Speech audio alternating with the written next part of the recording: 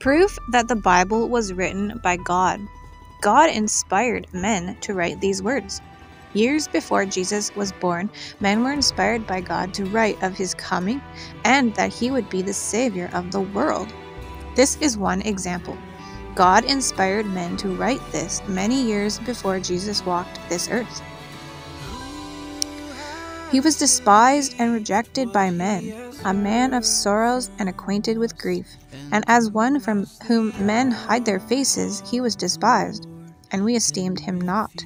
Surely he has borne our griefs and carried our sorrows, yet we esteemed him stricken, smitten by God, and afflicted. But he was pierced for our transgressions, he was crushed for our iniquities. Upon him was the chastisement that brought us peace and with his wounds we are healed. All we like sheep have gone astray, and we have turned every one to his own way, and the Lord has laid on him the iniquity of us all. He was oppressed, and he was afflicted, yet he opened not his mouth. Like a lamb that is led to the slaughter, and like a sheep that before its shearers is silent, so he opened not his mouth. By oppression and judgment he was taken away. And as for his generation, who considered that he was cut off out of the land of the living, stricken for the transgression of my people? And they made his grave with the wicked and with a rich man in his death, although he had done no violence, and there was no deceit in his mouth. Yet it was the will of the Lord to crush him. He has put him to grief. When his soul makes an offering for guilt, he shall see his offspring. He shall prolong his days. The will of the Lord shall prosper in his hand.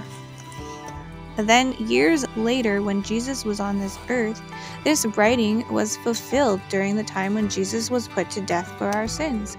In the Bible, we can read the history of these things and how it matches what was written years before men even knew a Savior would be born. Now the chief priests and the whole council were seeking testimony against Jesus to put him to death, but they found none. For many bore false witness against him, but their testimony did not agree. And some stood up and bare false witness against him, saying, We heard him say, I will destroy this temple that is made with hands, and in three days I will build another, not made with hands. Yet even about this their testimony did not agree. And the high priest stood up in the midst and asked Jesus, Have you no answer to make? What is it that these men testify against you? But he remained silent and made no answer. Again the high priest asked him, Are you the Christ, the Son of the Blessed?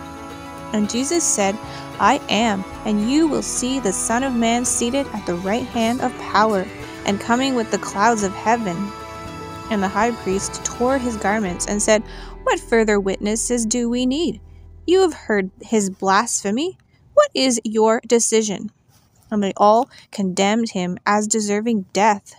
And some began to spit on him, and to cover his face, and to strike him, saying to him, Prophesy! And the guards received him with blows. Jesus suffered because we want our own way.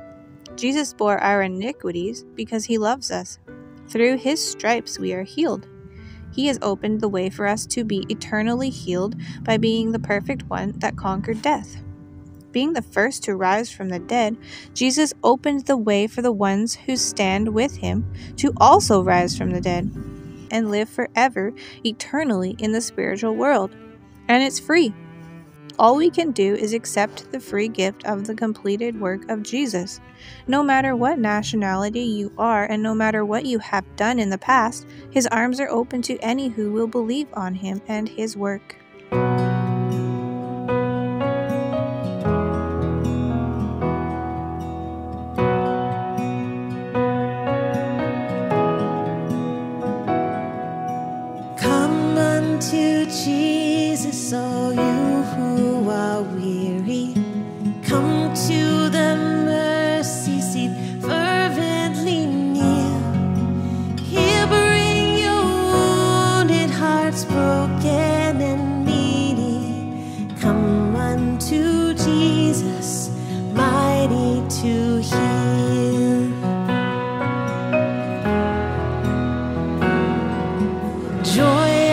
the comfortless, light for the straying, hope of the penitent, peace in our strife.